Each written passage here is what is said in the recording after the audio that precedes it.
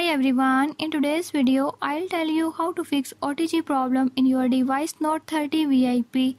In this device Note 30 VIP if OTG is not connecting, I'll show you how to fix it. Before I start, if you are new to my channel, don't forget to subscribe and press bell icon. Watch complete video and learn how you can do it. Let's watch the video.